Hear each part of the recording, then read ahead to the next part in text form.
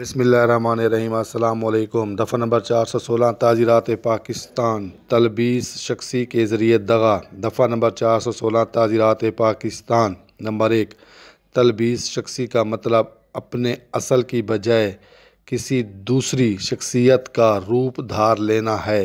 Number दो, अगर कोई शख्स ये जहर करके वो कोई और शख्स है या दानिस्ता तौर पर एक शख्स को कोई दूसरा शख्स बनाकर या अपने आप को या किसी दूसरे शख्स को ऐसा शख्स जहर करके जो वो ख़ुद या दूसरा शख्स फिलवाक़ ना हो। दगा करे तो कहा जाएगा कि शख्स मजकूर ने तलबीस शख्सी के ज़रिए दगा की है।